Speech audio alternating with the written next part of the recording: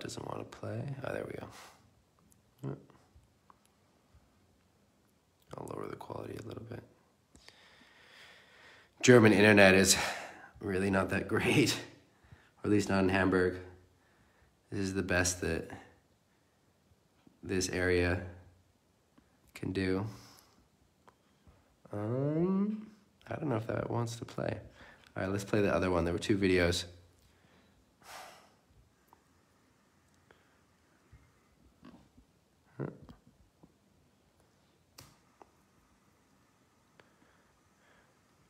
Ooh, this quality is terrible.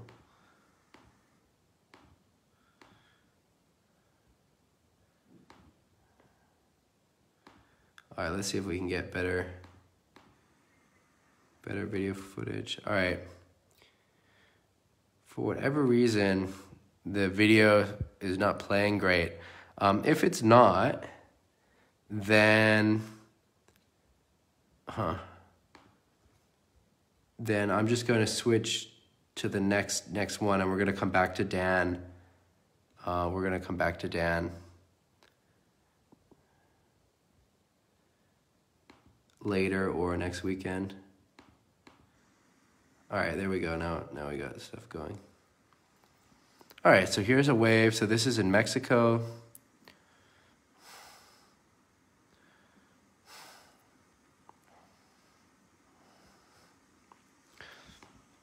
Nice. So looks like a fun spot to sail. Nice waves. Let's watch this again.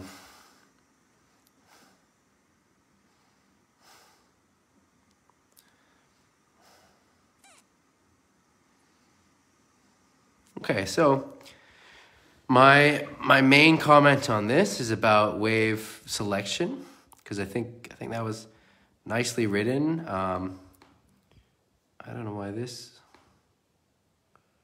this doesn't this video doesn't seem to be working. So we'll come back to that one. Uh, but what I what I want to talk about with that wave is it was well ridden. Uh, the conditions look light, look kind of difficult to get speed on the wave, but there were nice waves. And in those conditions, in any condition really, wave selection and placement and timing on the wave are what are going to make or break your session uh, because you don't have the wind to cheat. So the wind's not providing you with a lot of extra speed. The wind's not um, helping you get to the right place. It's not giving you the speed when when you come up to the top of the wave and there's nothing there.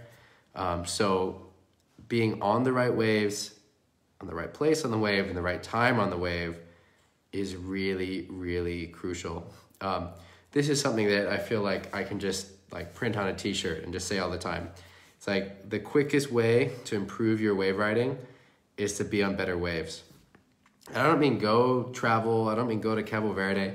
I mean just the day that you're sailing, make sure that you're picking the best waves.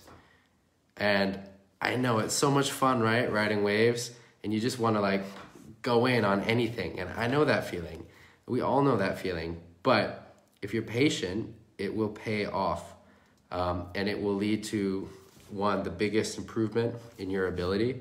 So you can improve huge, like in a day, like in five minutes, you can improve um, if you just catch a better wave. Like something that's pretty interesting, um, you know, if you sit watching at like Ho'okipa or somewhere and you'll see someone like Levi, who's a, you know, a, a legend of the sport, and if, if from the, you filmed all his waves from that day, and you took the waves that were not very good, like the, like the actual wave itself wasn't very good, you could spend a lot of time analyzing what he's doing wrong, what he should be doing different. Oh, he needs to like lean forward more, needs to move his hands, all you know, all these technical things. But then you just look at the best waves from that day, and all those problems will be gone. You know, the better the wave is that you're on, the better you'll ride it. The more speed you'll have, uh, the more dynamic everything will be, the more everything just works. You don't have to force anything um, it's just like magic, really. And and this is this is so so huge, and it's it's the biggest thing that anyone can do to improve their wave riding and instantly, instantly. You just have to be on the better wave. So if we go back, we go back to this wave from Dan, you know, he's doing a good job riding the wave, but the wave behind, the wave behind seems to offer really a lot more potential. Let's make this a bit bigger so it's easier to see. So, see, he's, he's, he's getting in his turns. Has to pump there to stay on the wave. But look at the wave behind. Look at that thing peeling. It's got a lot of power. He could ride that thing down here, still ride it, and then maybe kick out there. Um, and so if you want to condense this down to a single a single rule, so like the, the general rule is wave selection. It's just all about wave selection. If you if you get really into watching uh, contests, either surfing contests or windsurfing, this is true, really true in surfing as well. It comes down to who picks the better waves. Like, I don't know, I want to say like 80% of the time, it's just heats are won on wave selection because the level, like the guys are all pretty good. Um, and so it comes down to wave selection. Then you have, you know, if someone is, is consistently getting better waves, but they don't have the ability, they'll still win. Um, so it's wave selection is so important. So that's the general rule that you should always be working on.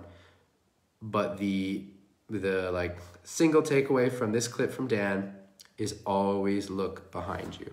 So you catch a wave, look over your shoulder, see what the wave looks behind. Is it better? Is there someone on it? If it's a better, bigger, longer, cleaner wave, um, and there's someone on it, then you know, tough luck. You're gonna have to ride your wave, or maybe you pull off your wave and you go for the wave behind the one that's behind you. And this can be a bit of a gamble. You know, I do this a lot at Ho'okipa where maybe I'll jibe off one wave and I'll sail out quickly out the back because I'm trying to keep priority and there's someone on the wave directly behind me and I want to see what the waves look like behind them. And sometimes, sometimes they're worse. Um, and, and it's something that then you, you kind of get a gut, gut feeling for and, you know, you're not always going to be right, but sometimes you will be. Um, and, and the main thing though is that you want to always look behind you. And if, if the wave directly behind you is better and there's no one on it, get on it. Um, and so I do that constantly actually when I'm coming in. It's not just a one-time thing. So when I, as soon as I get on the wave, I look at the one behind. Is it better? If it's better, I change right away. If I'm not sure, I keep coming in. And then as the wave starts to kind of form up and, and you get more information about the waves, I look again. Is it better? Is there anyone on it? If there's no one on it and it's better, I'm gonna get on it. And so it's a really good habit that you want to be in of just always turning around, looking at that one behind before you set up. Is it a better wave? Should you switch? And, you know, if there's someone on it and there's people on all the other ways behind you, whatever. But it's still worth looking, even if you know that there's someone behind, because it is training your brain and your brain is getting better at evaluating the waves. And so, so much of this stuff, like people like, oh, how do you train wave selection, right? You know, it's such like a, I don't know, hard to define skill. You're either on the good waves or you're not. Is it luck? What is it? And uh, for me, like the biggest thing, the biggest way to train it is just awareness. Uh, if you start being aware of waves and you're paying attention to the quality of the waves you're on, the quality of the waves around you, what they look like out to sea, what they look like when they break, you're gonna get better at it. Your brain will will figure it out. So doing this where you look back and check out the wave behind you, not only are you going to sometimes score a better wave behind you, like in the case with Dan, but you're also going to get your brain working so that you're more aware and you're better able to select the waves um, on your first try, you know, in your first jibe. Um, so this that this is a pretty big, important point, and it, it's something that I'm to say a lot uh, because it's so important. Um, all right, we've got a comment from Carl. Couldn't agree more. I'm not the best surfer, but I learned with surfing that wave selection is super important. I think learning to surf really helps with wave selection. I totally agree. And surfing's a pretty good analogy. Like, I I used to surf a lot when I was growing up, and now I don't surf that much um, throughout the year. You know, a handful of times, and it's funny because I spend so much time riding waves, and so I have these like really like kind of hit or miss wave rides. Like I have some waves where, you know, I'm getting tons of turns. I've got lots of speed. I'm hitting the lip. I'm whatever, and those are the waves where I'm on the right wave and in the right place. And then there's other waves where whatever I paddle in a little bit wrong or I'm not totally in the right place and it just doesn't work. Right? I, just don't have those surfing muscles to then adjust to that. Um, but the, the point is, is that you get better just by being on the right waves and in the right place. And so one one way to to do that or to help do that is to always look behind, look at the wave behind you and see if there's no one on it, if you should drop back. All right. So, great first topic. I, I like that. I think it's an important um, important topic, you know, wave selection, placement, timing. If you just work on those three things, it's enough. You don't have to work on anything else. You, you'll keep improving on the water. All right, so we've got a question. What's next on our on our list? guys are asking so many questions in the group. It's amazing. All right, we've got a question from Mark about short board tacks. So, tacks are pretty important if you're going to be wave riding a lot because they help you stay upwind. Uh, and so they're a very useful tool uh, in the Wave Sailors tool belt. So I, I think I think learning good shortboard tacks are pretty important. This is something where I'm gonna talk about it right now. I'm gonna say my what I think is useful, uh, but I think I need to also just make a video on this. Um, and when when that will happen, I have some footage that I already filmed. Maybe I have enough to do it. I might need to film some more which is then just a function of when I can go sailing and when I can get filmed. Um, all right, but let's let's dive into it. So you guys know that's kind of on the docket. When I've got the I've got the time and the footage, I'll, I'll try and put together some YouTube content for for tacks because I think it's pretty important for wave sailors, uh, especially for for spots with current and onshore winds, tricky conditions where you want to stay upwind, where it's important to stay upwind. Um, all right, so I've got a video of attack and I'm gonna pull that up and then I'm gonna show you a few things that I do. I, am trying to think of what the most, um, what the most useful, useful things to say. So I'm gonna go over some, a lot of these things in the uh, whatever I make, whatever whatever the YouTube thing is that comes out of this, um, because that that's a little bit of a different format rather than the live format, which makes it, I think, a bit easier to go in depth. Um, but let's um, where did I put this video? I found this video for this topic. Where did I put it?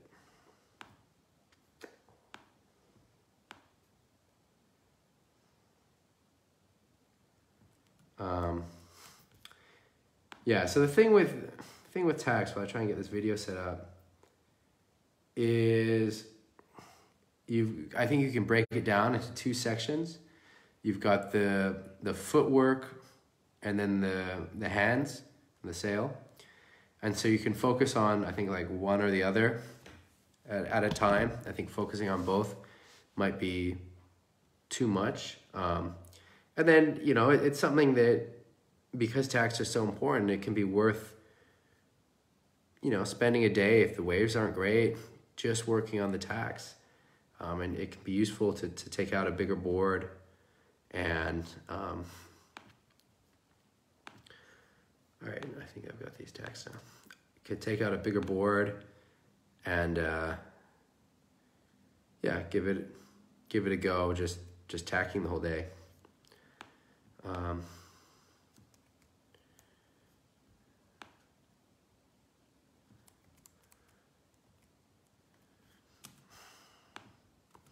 all right, let's find this tacking footage. All right, here we go. So these clips don't show it perfectly. Um, there are tags. Hold on, hold on a second. Let's, uh, I've got another video. Paul uh, shot all these great videos of me in Maui in the spring.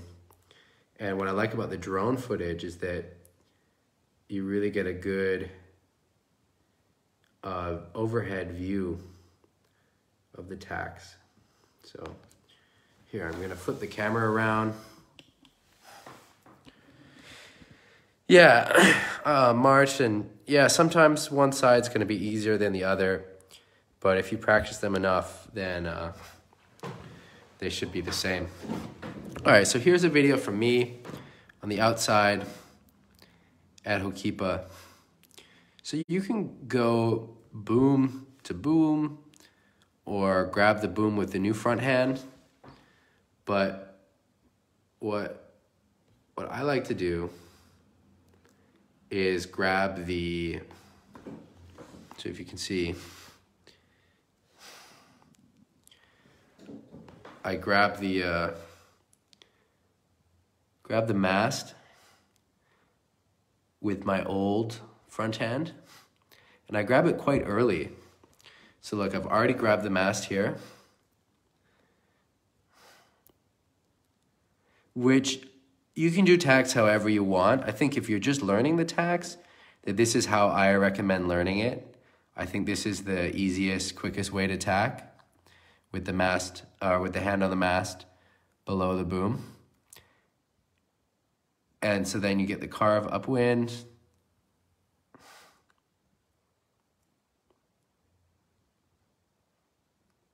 come around, sheet in. All right, so now I'm gonna break that down a little bit. I'm gonna focus on, so today I'm gonna focus on, I'll focus on both, both the feet and the hands. And so I'm gonna say something about the feet and then I'm gonna uh, say something about the hands. And the hands I can show you um, some exercises you can do on the beach. So for the feet, one thing I just want to point out, and again, I'm going to do some YouTube content that will go into this in more depth because I think that's a better medium for it. But what I want to show you here, I've got one foot between the straps and I've got one foot in front of the mast. So just watch the feet, a carve up wind,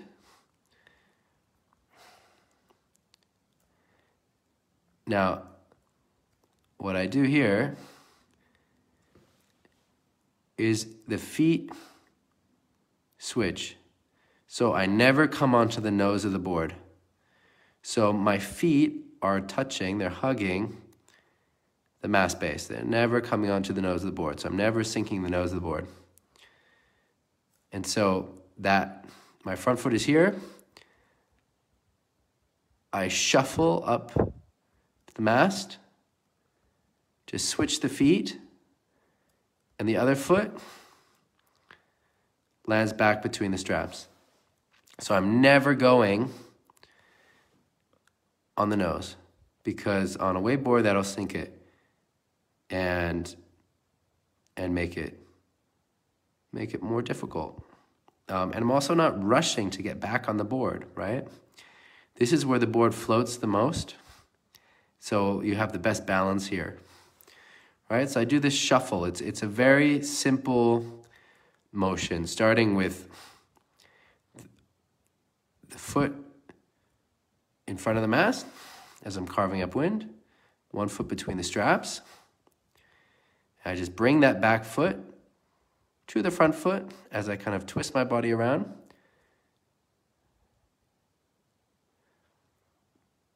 And so that's that's what I recommend with the feet. Um, so you're never going onto the nose of the board. And it's a it's a pretty simple motion of just one foot goes in front of the mast, like exactly in front of the mast, and then you just trade places and you shuffle and shift, shift back. And then about the sail, so you're falling into windward after rounding the mast quite often. Momentum taking me into windward. Yeah, so Carl makes a good point. The faster you're going, the easier it is because the more stability you have. Um, if you're falling to windward, I think that the next tip I have is going to be the most useful for you, um, which is what I like to call opening and closing the door. So I'm going to show you so for everyone that's just joining us, we're talking about fast tacks, wave tacks, tacks on a short board. Uh, we just went over the footwork. Now we're talking about some of the sail dynamics. Um, for the live coaching format, uh, this is not a, a total com comprehensive overview of the tacks, and I'm planning to make some YouTube content for that.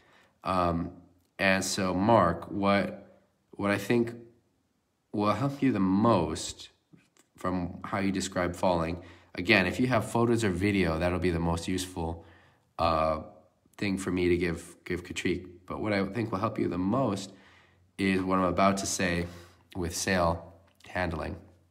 So what I like, the way I like to think about it, is you're opening and closing a sliding door. So I put the sail back See, I'm putting the sail back, like the, the boom is going towards the tail of the board. Boom goes towards the sail of the board, and you can really exaggerate this. So when you're carving up into the wind, you can really, even more than I'm doing here, really get this sail back. And that's doing two things. One, it's carving you up into the wind, as you can see here. And two, is it makes this space that your body can go through. So you're making this little opening so you don't have to lean too far over onto the nose and you can stay centered and upright, which allows you the best balance. And then when you come onto the new side, so see, the sail's back, this door is open. Close, close that sliding glass door. And so look at this hand. It's across my body. That's how far back the sail is, right? And then I bring it, bring it around, closing that door. And that's doing a few things. So when you bring the sail then across your body like that, it's putting the sail in the position that's going to drive the board more downwind again, which helps complete your turn. And it also helps backwind the sail, which then gives you stability because then there's pressure in the sail. It's coming from the other side, but it's something that you can lean against to help you stabilize. So there's just a split second there where I stabilize on top of the sail. So I push out against it and then sheet in and go. So we, if we watch this in real speed.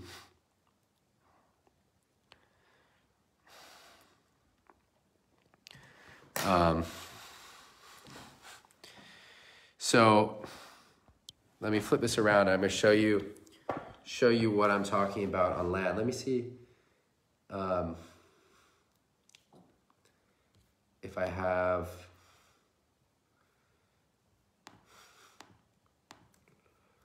If there's another video.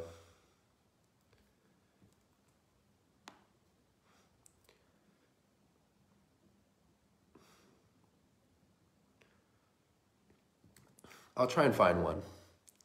I'll try and find another one. If I do the YouTube thing, which is not if, I will do it. Um, I'll try and find a better tack tack to show because you can see it from some from some other angles. But what I want to show about opening and closing the door. So the wind is coming from the wind is coming from that way. Okay. Sailing in. I grab the mast, put the foot in front of the mast, carve back. So I'm going on my heels and I'm pulling the sail back. So I'm opening that door. Okay? When I'm about to go around the door, I give a little sheet in, which I think is important. So the sheet in helps carry your speed. So you, you get a little extra burst of speed before you let go of the sail. Also like pushes you a little bit more upwind. And it also kind of makes the sail more stable because then it's got a bit of wind in it, which will last for a split second, which will help stabilize the whole rig. So you give a little sheet in, you do that shuffle with your feet, and then when you get to that new side, with this arm, bring it forward. Grab again. Does that make sense? You're closing the door. So if you're doing it boom to boom, you come in, shuffle. See, so this arm is across the body. You've, the door's open. Close the door. Bring that forward. Um, so again, I'll, I'll go into more detail about this um, in something for YouTube. I've, I've got to collect the footage. Maybe I, maybe I have enough that I don't need to film anything new, but I probably do. Um, but but we'll see. And uh, I'll try and put some stuff on YouTube. But what I think will help most Mark is is doing that, really exaggerating that, opening the door, and then closing the door when you get to the new side and uh, that and then making sure that you're not too much on the nose of your board um, both of those can cause the problem that you described all right so sammy's got a question um, look forward and not at your feet once you change to the other side helps with the balance on the on the board yeah that also makes a lot of sense oh, that's a good that's a good tip from sammy you always want to you almost never want to be looking at your hands or feet. You always want to be looking where you're going to be going. All right, so next, um, got a question from Sammy about how wave sails work. All right, let me get to that original question. Uh,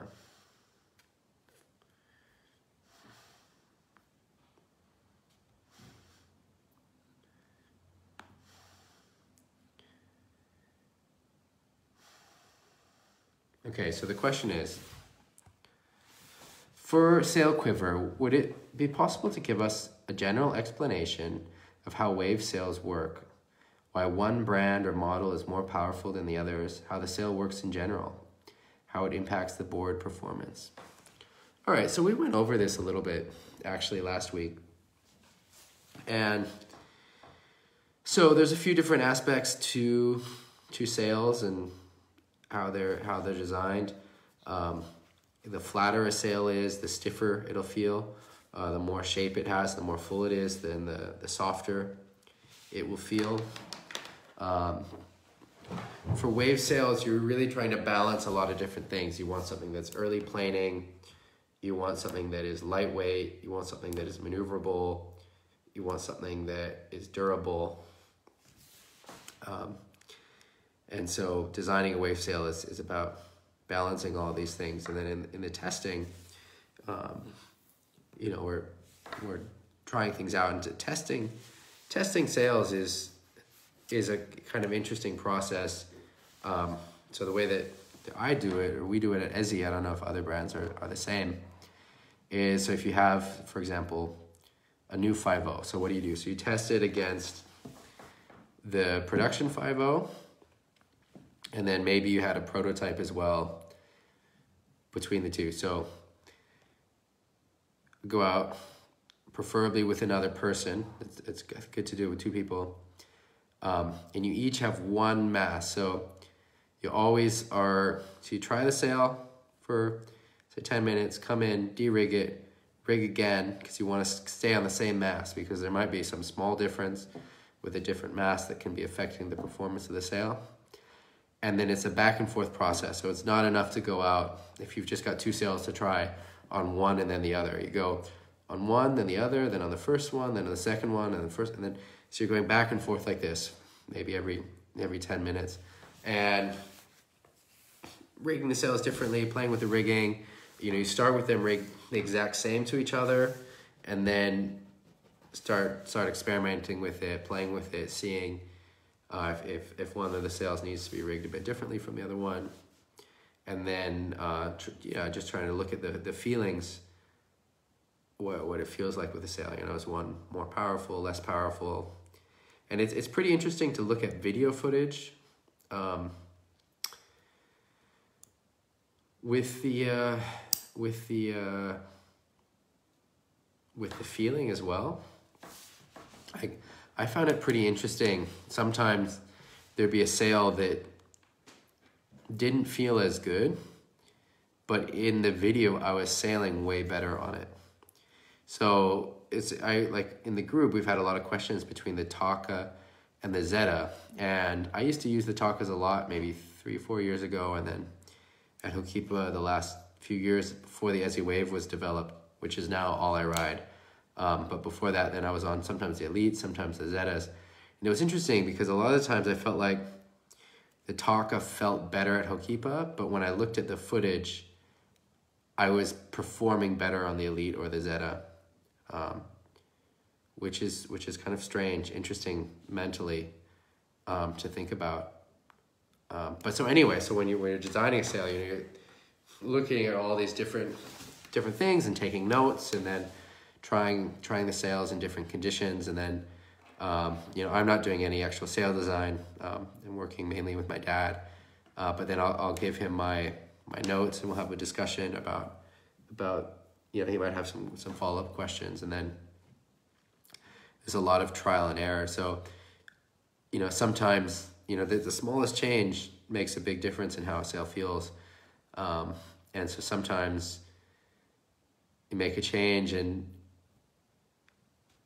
it doesn't feel better. Um, maybe it feels worse, but you make a change in that same direction a little bit more and it will feel good.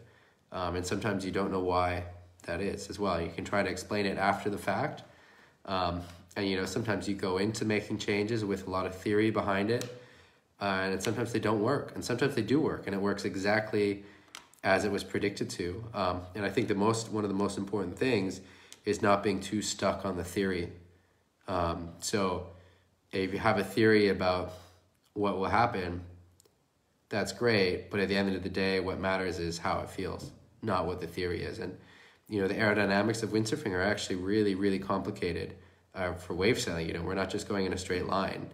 Um, and so there's a lot of different factors factors there. So um, yeah, it's nice to have a theory. It's a good starting point, but at the end of the day, it's it's about the testing.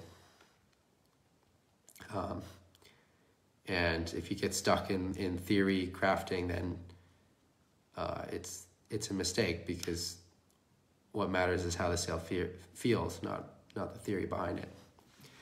All right, so this is this is a huge topic, and, and we can talk more about it um, as well later. Um, if, if there are more specific questions about sails and sails design, um, let me know. I'm planning to go back to Maui, and maybe I can get some video of my dad as well. Um, you know, he's been doing this now for I don't know, 40 years or something designing sails, maybe more. Um, so he's, this is his life. And uh, yeah, so I, he would be happy to talk about this stuff. Um, so I'll try and do that when I go back to Maui. And if you guys have more specific questions, um, ask them in the group. And then I can either answer them or I can, I can uh, ask my dad. All right. Um, we've got the next one, the next topic is backside riding. It was Brian that asked the question Is there a photo or video to go with it? Um,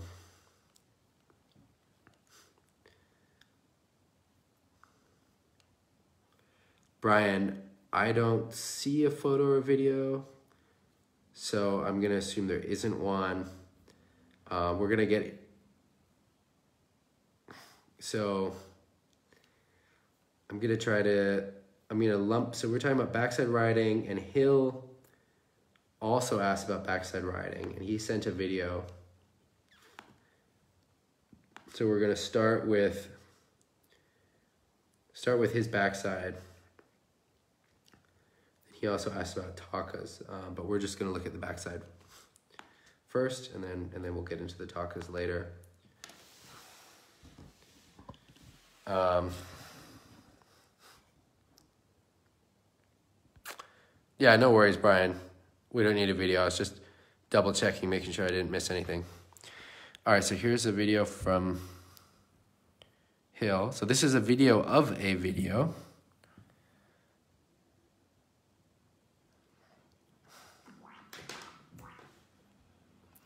All right, so there's the backside. So I think that backside riding is very important and very underappreciated.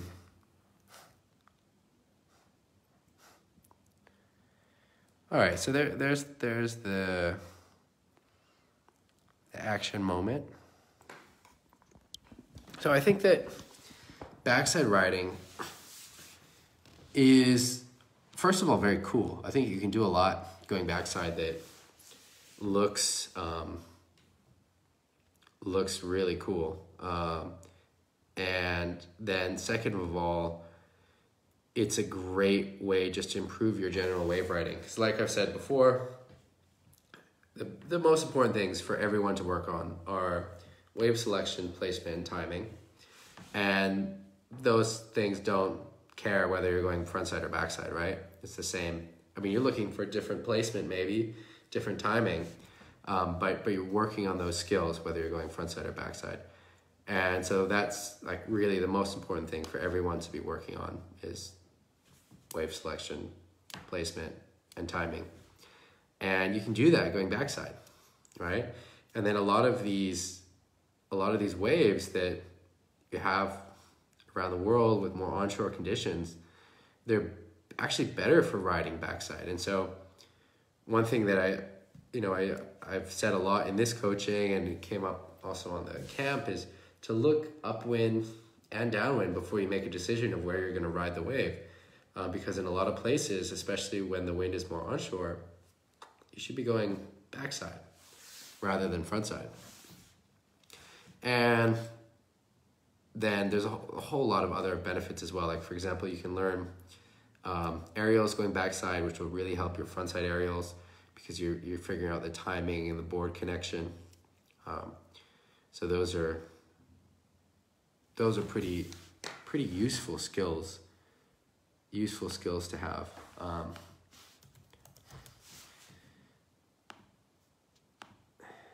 so here I've got some of my own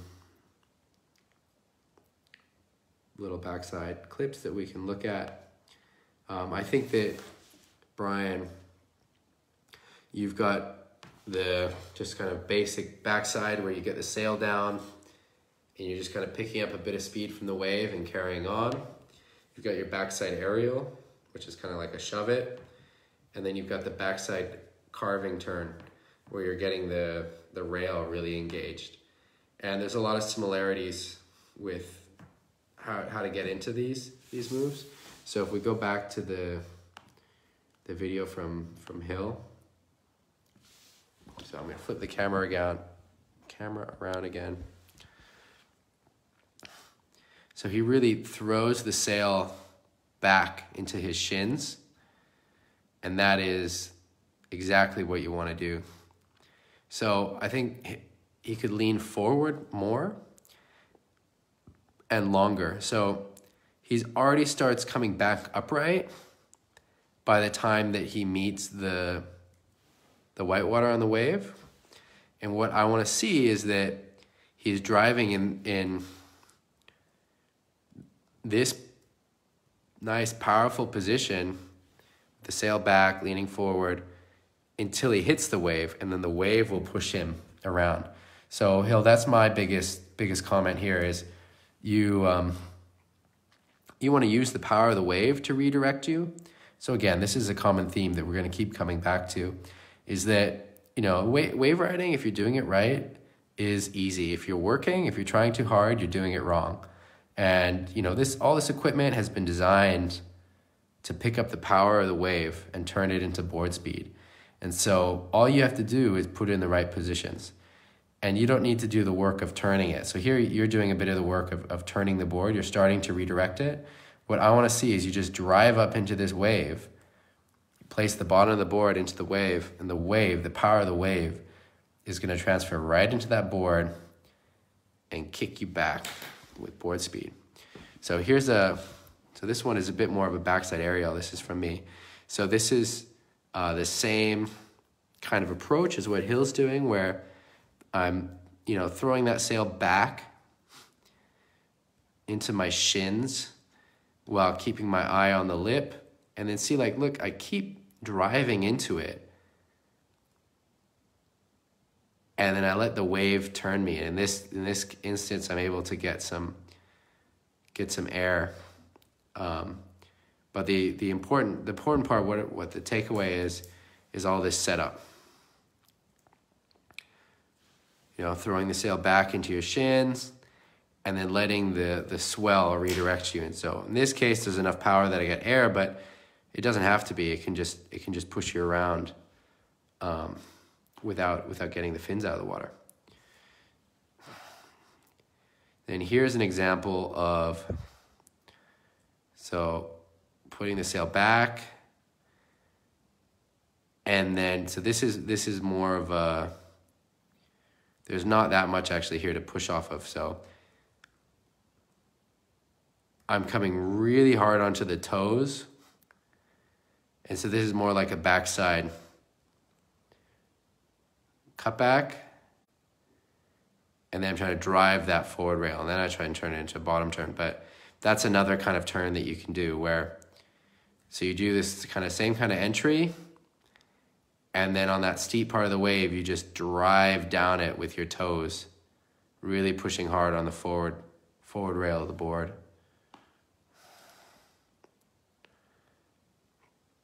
So here's another example. Driving the sail into the shins, pulling it back. And you to do that, you can really sheet in to help bring the sail up. So here see, look, look how, I'm how hard I'm sheeting in here. And then to support yourself, you can sheet out again. So once the, the wave starts pushing you back, so here I'm sheeting out, the sail backwinds, fills with wind, and helps helps give me stability because it's then a you know like a solid thing when it's full of wind. Um, there's I think a few more backsides in here.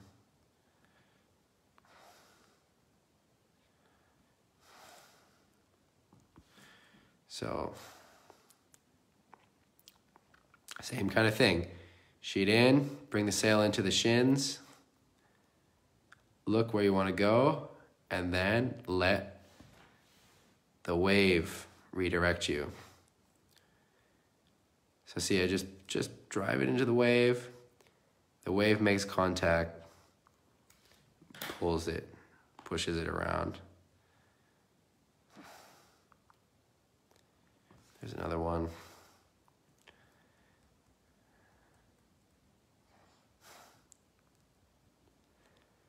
Again, really using the power of the wave.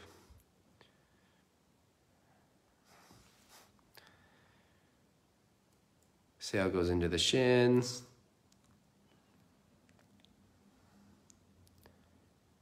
Putting, just putting the board up into the wave, sheeting out for stability. See, I'm really sheeting out here which pu- pushes, it gets the sail backwinded, which gives me a lot of stability. And then just letting the wave redirect me, just using the power of the wave.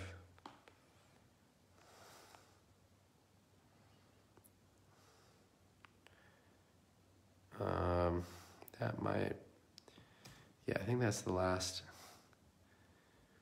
backside there. Um, yeah, so I think you can really lean a lot more forward than you think you can. And that comes from driving the sail into the shins and then leaning forward onto it and pushing out against it. And when you push out against it, it gets backwinded and pushes you back up. And that that's what allows that sail to go down like that. But if you want to just work on the carving in the beginning, that's also totally valid. And to do that, you don't need to do that kind of shove it, sail down motion.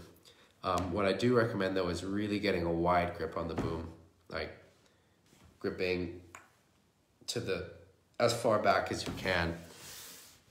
If Carving backside turns makes a big, big difference. Um, so I think I think that's a pretty good amount of stuff to try for getting into getting into backside riding. Um, let us know in the group if you have more specific questions, and uh, yeah, we'll go from go from there. So now we're gonna. Hill had a question about takas, and so we're gonna transition, go back to his video, and look at the taka from his video. All right.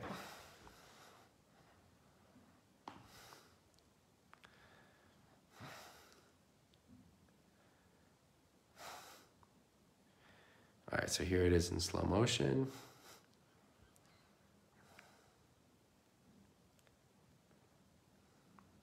And we can go through this frame by frame. So.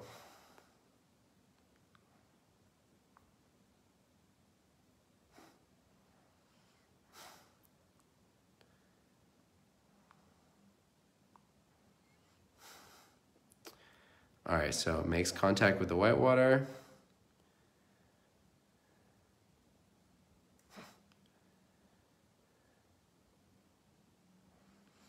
Comes over the top, gets sliding.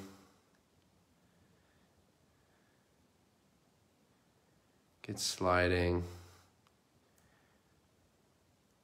And then falls over. All right, so Hill, I'm gonna give you couple things to work on. One, I want you to use the white water to get that board transitioning more. So look at how you're already turning before you get to the wave. And so then the wave isn't able to give you so much board speed. It's not able to transfer its power to you. Um, the phrase that we came up with on the, my clinic was you want to high five the wave. So when I get that perfect contact, that high five with the bottom of your board and the power of the wave. So in this, this example, that white water, and that allows for the most transfer of energy and power from the ocean to your board, which gives you more speed, gives you more rotation, gives you all the things you want to have when you're doing a move like a taka. So that's that's the first first tip. Um, I think that your hands could be a little bit wider, um, but we're just gonna stick stick with it like this for now. I mean, you could move your backhand back, but let's focus on the other things for now. So then when you get into the sliding, right, looks good here. Now there's there's one big mistake. Does anyone know what it is?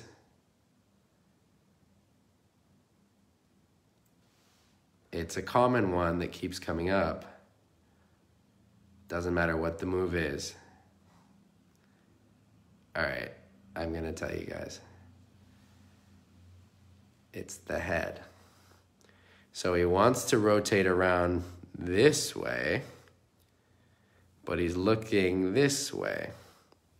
Now, your body, your rig, everything goes where you look. So you've got the rotation started going this way, but then you're looking back this way. So in the beginning, you start looking in the rotation, and then you're looking back this way, which I've got a delay in your comments, but you guys all answered it perfectly. So thumbs up. Um, but yeah, so it's the head. So you want to look, look in the direction that you're rotating. And it's really as simple as that. Then the other stuff will fall in place. So get that high five with the board, high five with the whitewater at the bottom of your board, and look look where you're going. So in that same in that same video that we just watched with um, with uh, those backside riding.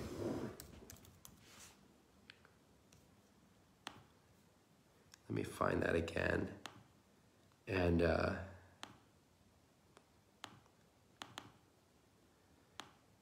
I've got some takas in here.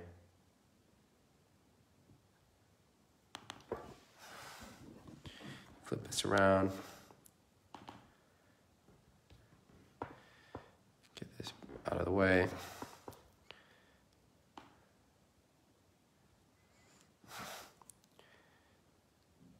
So this is like not a great section, but see, I'm getting that, that high five. And I mean, this is not a great section. This is not a great taka. But look at my head.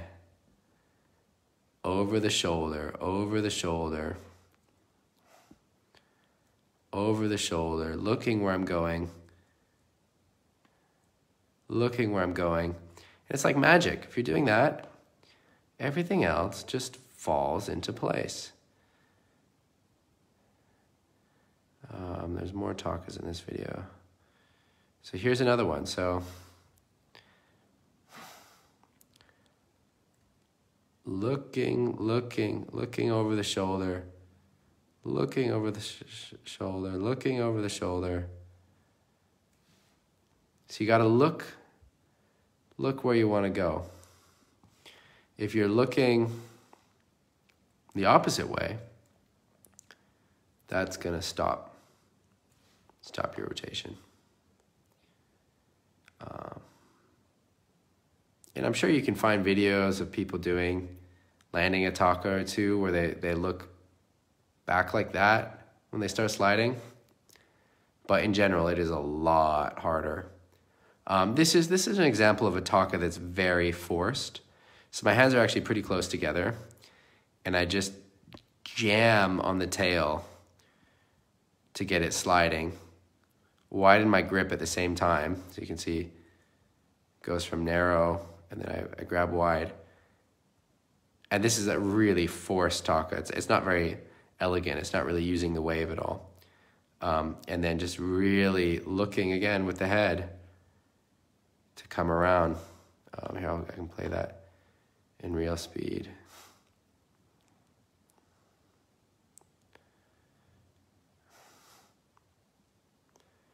Um, yeah, that's not a taka. So that's um, those are my two tips, Hill. Uh, you got to get that high five with the wave. So try and get as much energy from the wave as possible using the wave to help you turn, help give you speed. And then look where you want to go, you know? So you, it seems like you're getting the initiation good. You're getting that slide, you're getting that rotation, but you just got to look with the head. And then everything else will, will come, will come, you know, your body, your body knows what to do. Um, but you just gotta, just gotta look, look in the right way. Um, all right, so next, we've got a question from Martin. Um, question from Martin about tacks. Turning the head, what about the nose? Tristan, what's the question? What about the nose, the nose of the board? Just tell me a little bit more what you mean. and then I'll, I'll give you an answer. Um, all right, so Martin, I gotta find your question, Martin.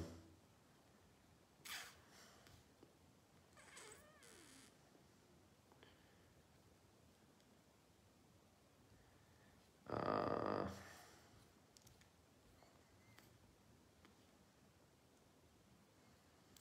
we've got a lot of great questions in here. I'm, I'm still not sure I understand your question, Tristan. Um, so I think you want to be looking looking over your your shoulder in the direction that you're you want to be spinning. Um, so you're asking whether you should be looking at your nose. Okay, yeah, post it in the questions for this week. Um,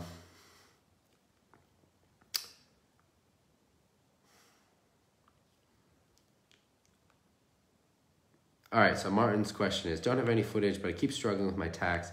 Every time I try to set up, bend my front foot around the mast and jump around, but mostly end up falling in front of the board. I think it's a problem about too much weight outside of the movement.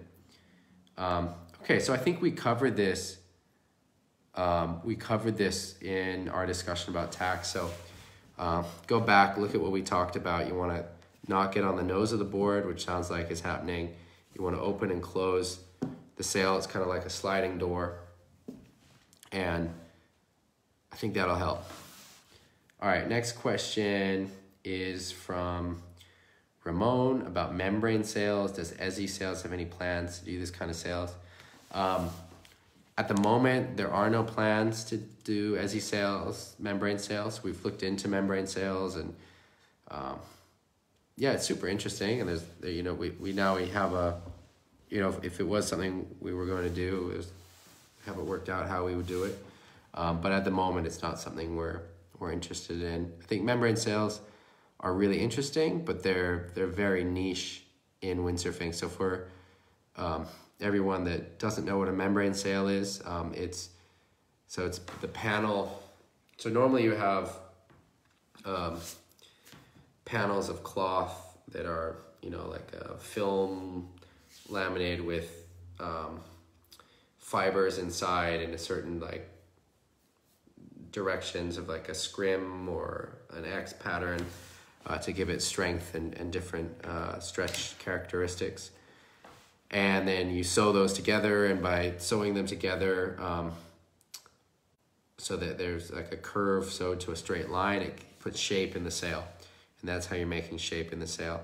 Uh, with a with a membrane sail like the big yacht sails, they're laminating the sail itself. So then they're lying down the yarns, the fibers, to fit the load of that sail.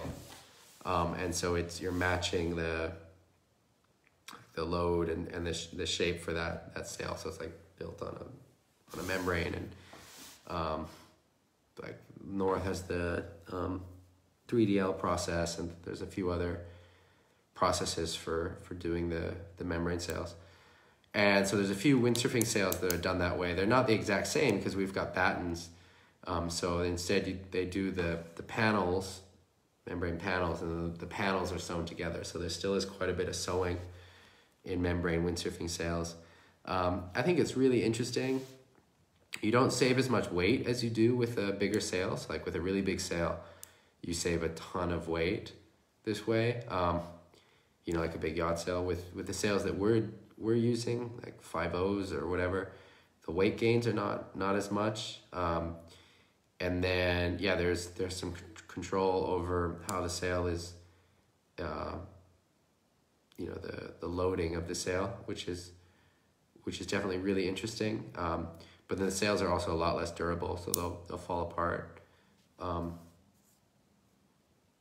a lot sooner than a normal sail and then the cost is a lot higher. So I think like Severne and North, they've got membrane sails on the market, and they're about I think it's about thousand thousand euros for a sail, um, which again is super interesting, um, and it's a, a niche space to be in. But most most windsurfers, wave sailors don't seem to be wanting that. They want something that's that's a bit more durable, a bit more long lasting, and uh, that that price point seems a bit bit high. So, um, you know, we're we're trying to design sails that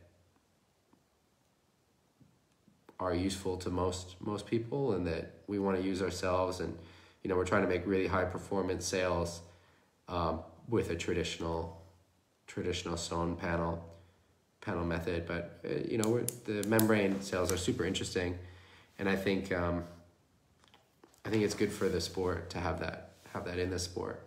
Uh, so the question is, they're cool, but pretty niche, and we're not going to be making them um, in the next year or two. All right. Next question. All right, so we've got a video from Frank about back loops.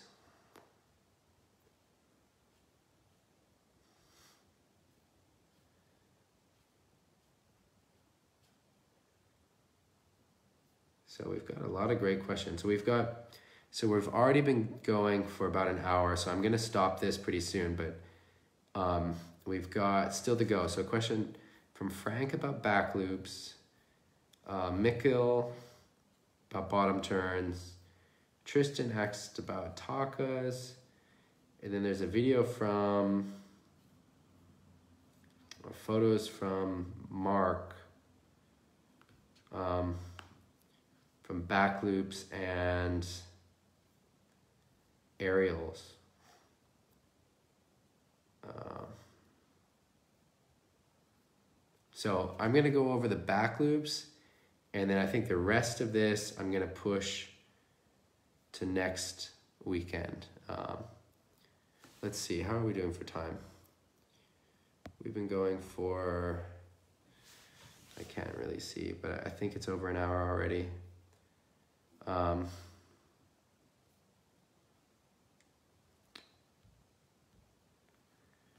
all right, here are the videos, back loops. I'm gonna flip this around.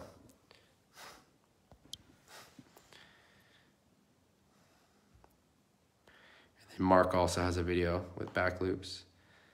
Um, all right, Mark, we'll do them next week. Um, all right. Oops, why did that not? So,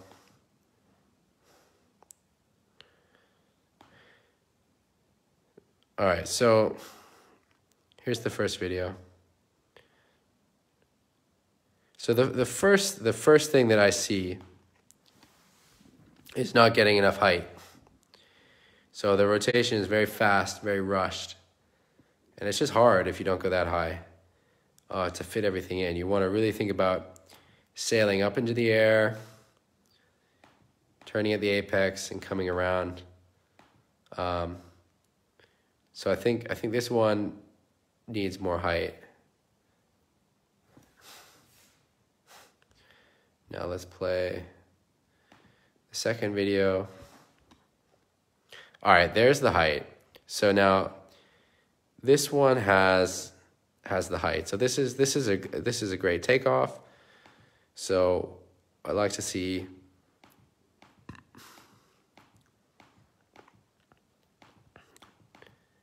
carves upwind on the takeoff. Great. Goes straight up into the air. Great. Comes down, lands on the board, but then loses everything.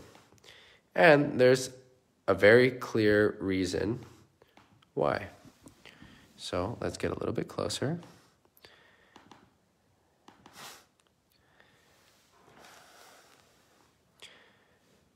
Look at the head.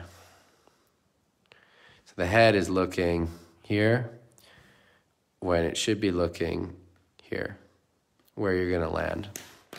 So it's so important with the back loop that at the top of the jump, you look over your shoulder. So there's a little bit of looking here, but I want to see more. And then you really spot the landing of where you're going to jump. And so by having your head looking forward like this, first of all, you don't know where you're going to land, so you're just rotating. Second of all, bringing your body weight more forward over the gear. So then when you land, you land too flat.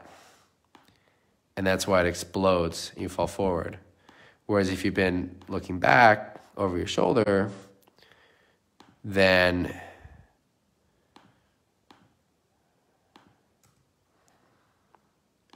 your weight is not as over everything. So here's an example from Pozo, looking over the shoulder, really looking, looking, looking, looking at the, the landing. Here's another example.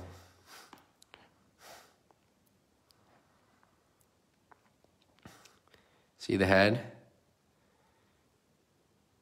From here, I spot where I'm going to land, and I just look at that one point the whole time.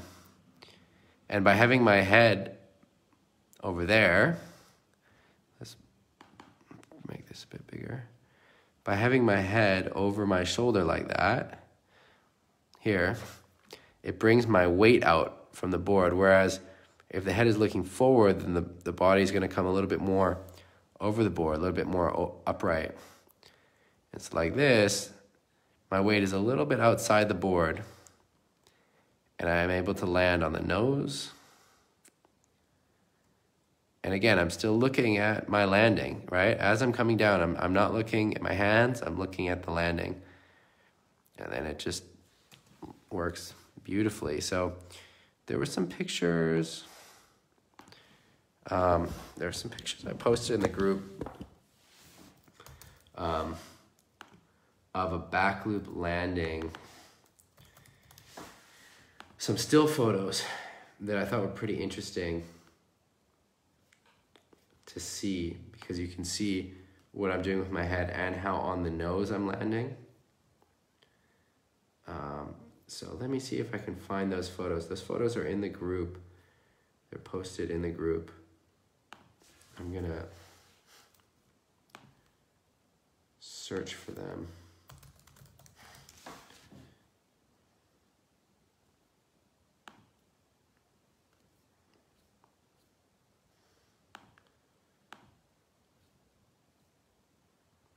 Okay, so here's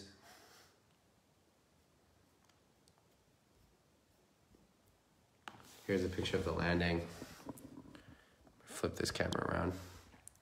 So there's a picture of a back loop landing where my eyes are on the landing, coming in on the nose. And so it's you really want to be looking again, looking right where you're going to land, um, and then that's what puts you puts you in the right position. Here's another photo from that same sequence. So again, looking down, and it, you can really come in on the nose, really land on the nose. Um, all right, so got a question about the um,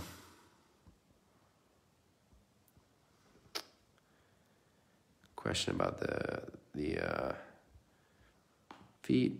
So let's take a look. But I like this attempt. This is really, really close.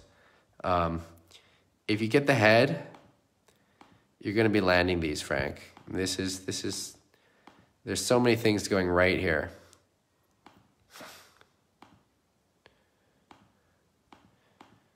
So let's uh, look at it again. So you go upwind, go up, come around to the top.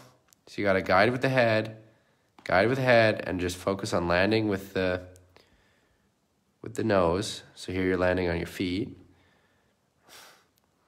Um, all right, so your question is, what about the front leg?